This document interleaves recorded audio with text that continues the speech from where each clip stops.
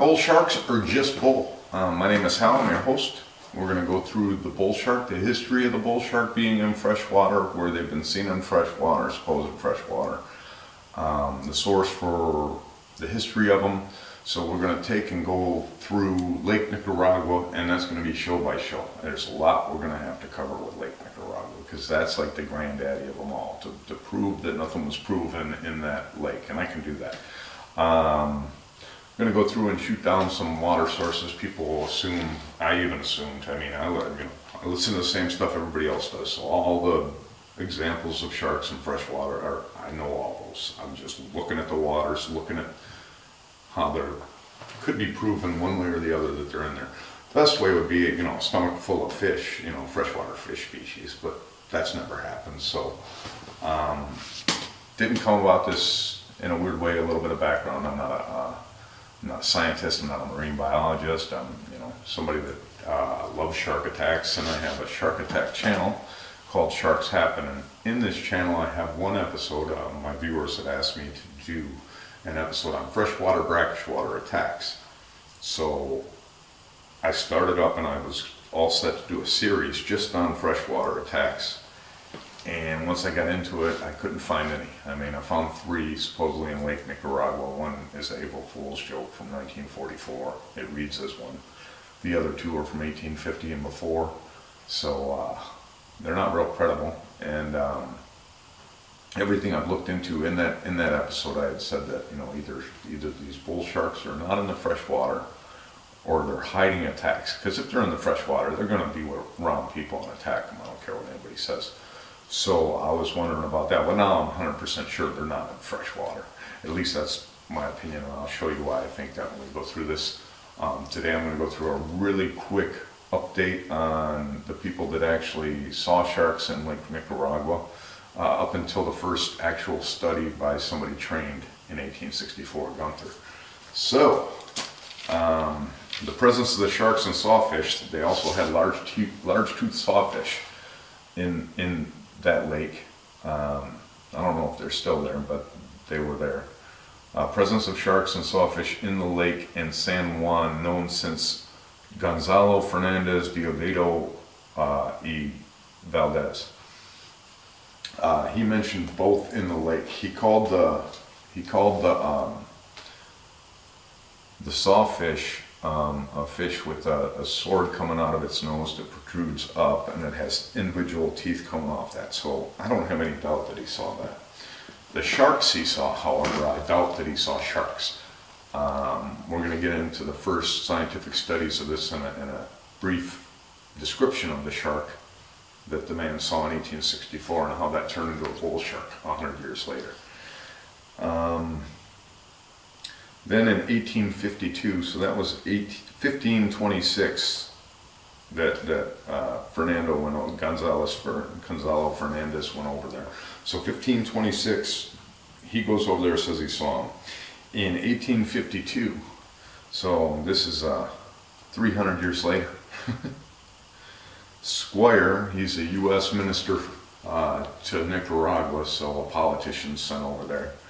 And he says sharks abound in the lake, called tigrones for their rapacity, not tiburones. It's calling them tigrones. So the people there aren't even calling them what they call sharks. Um, he has seen them from the castle. He says he saw them himself dashing about from the castle with fins protruding above the water. Um, the shark that's explained later on is a dogfish, a small dogfish. You wouldn't be able to see that from up on a tower where he's talking about. What you would be able to see is tarpon. And tarpon are, are in that lake. They're in that lake to this day. If you, if you go ahead and you look up Lake Nicaragua and you try to see a bull shark, even on their own pages, they have a bull shark, but it'll have a remora stuck to it. They can't live in a lake. They need, they need currents. They need, that can't be possible. So they're not even using freshwater bull sharks in their pictures for being in that lake. Um, but that's neither here nor there. Right there we get to him in uh, Squier. After that it's 1864 and we're going to get into Gunther and his work on the fishes that were in Lake Nicaragua. We'll also get into uh, Gill and Bransford, which are the next ones that looked into it about 20 years after he did. And there wasn't much happened for 60 years until a professor in Nebraska got involved and changed everything up. And we'll look at just how he did that, and I think sloppy, sloppy work, at least by his report of his summary of his uh, study. There's a lot of questions I have as to why certain things are the way they are, and I think you'll, you'll agree with it. So, that leaves us, we're gonna end this here with Gunther. Uh, we'll pick up on Gunther, the first trained person to look into the fishes at Lake Nicaragua. And now we're gonna step over to the whiteboard where we're gonna deal with the Breede River, where a monster was pulled out of the river and supposedly fresh water. We'll take a look at that. Okay, a quick look at the Breede River.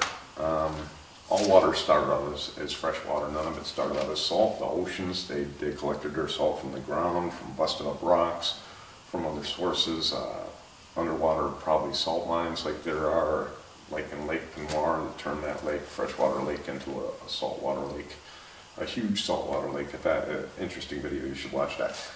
But uh, they all start out as salt and, and as, as fresh water, and the salt is added.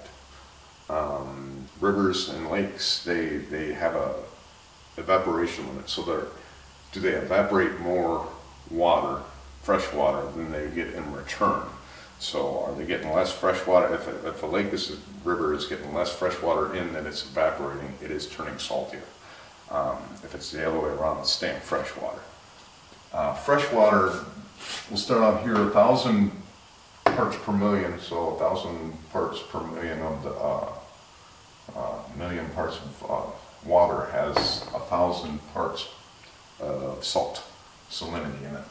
Um, the salinity is made up of other things, it isn't just a, a salt factor, there's, there's chlorides, there's, uh, hard carbonates, things like that that add to it too. Fresh, fresh water, a lot of them say it's under five hundred, in Mississippi is three hundred and forty parts per million. So you can drink that water. Um, you can drink the lakes, you know, in Michigan where I live, you can drink the water out of them, it's not a problem. Uh, a thousand is where they stop, they cut off from being able to use drinking water in the US. I- Drinking water in the US is about twenty parts per million, but, um, we're just going by a thousand parts per million for the fresh water cutoff instead of five hundred. Um, one thousand to ten thousand is mild brackish water. Ten thousand to twenty thousand is moderate brackish water, and twenty to thirty is heavy brackish water. And seawater is thirty to thirty-five thousand parts per million. It's mostly thirty-five thousand, but thirty thousand is where seawater starts in parts per million. So, we have studies, 1989, hydrology, this is the name of it, you can, you can Google this. Hydrology and salinity dynamics of the Breede River in South Africa. Um, it says that it acts as a receiver of significant amounts of saline irrigation return flow. So they're getting a bunch of return flow. This thing's 330 miles long, 30, 330 kilometers long. At the top, at the base of it, there's a, a dam. And um, they're saying that it, it's getting this irrigation return flow. So they say that in order to guarantee sufficient quality at the last abstraction point, which is at Weir 5, Weir 5 from the ocean here is 80 kilometer, more than 80 kilometers from the ocean. And in order for them to get quality water at the last abstraction point back in 1989, they had to do dumps from the freshwater dam to be able to make that water usable 80, 80 kilometers up from the ocean. Uh, seasonal behavior, as salinity peaks in the summer due to lack of fresh water and inflow from saline uh, irrigation return flow. So in the summer, it's, it's, it's at its highest as far as salinity.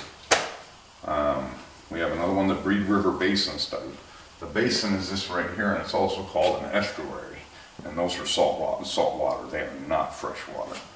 Um,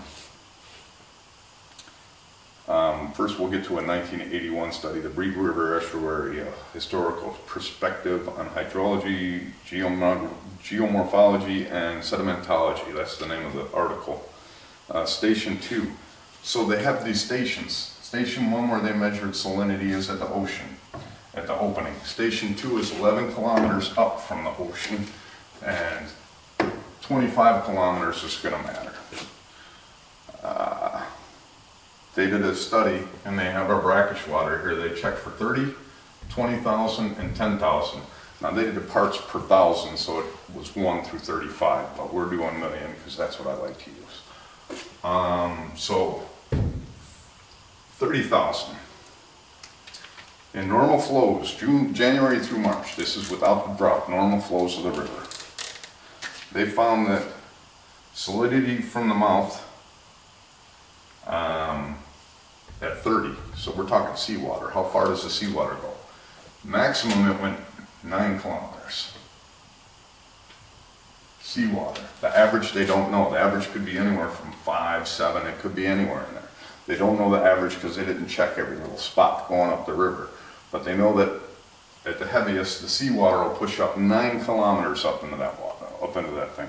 Now tides do this, and this is tides work alone because when the current is working with the tide, these numbers jump. Um, so that's seawater going to nine kilometers. That happens twice a day at least because you have two, two tides, two, two high tides and two low tides per day. Um, next we'll go to mild brackish water, and that's 20. So 20,000, still closer to seawater than it is to, to fresh water. And that has gone on an average 12. 12 kilometers, the max is 14.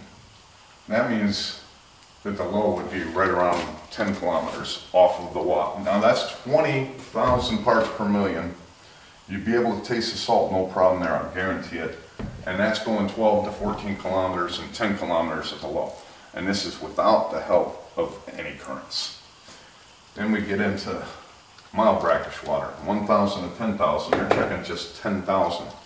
Um, 10,000, they checked that and they just went to where background melted in with the 1,000. So what they did was they went as far as they could until it's dropped to 1,000 salinity. That goes all the way to 25.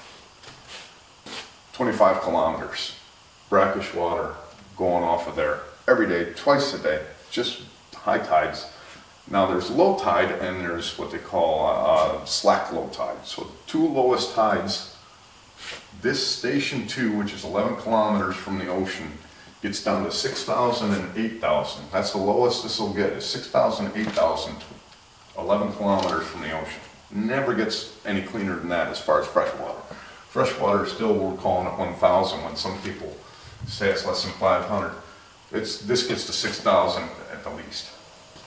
Now, uh, December through April, when they're not having normal flows, they're holding off this dam water and they're using it for irrigation.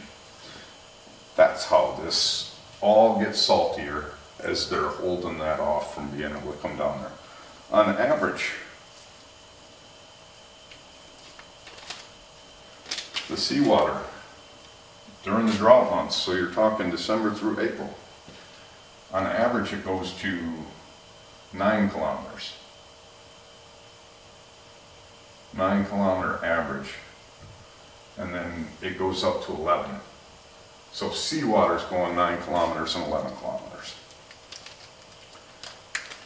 The, the 20 million, 20,000 parts per million is going all the way up to 15 on average.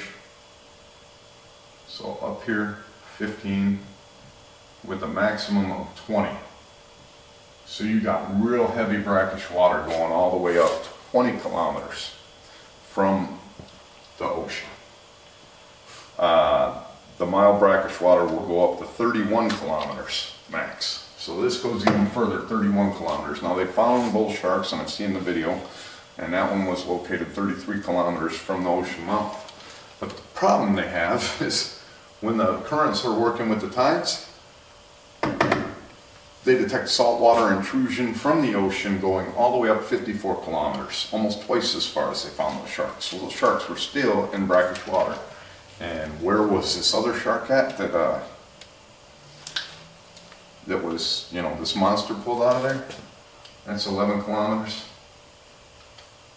5.5 kilometers, or three and 3.3 miles from the opening of the ocean.